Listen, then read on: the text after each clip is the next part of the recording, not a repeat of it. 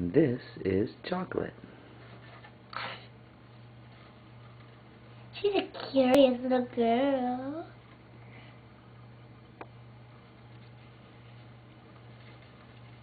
No. Chocolate, say hi to the camera.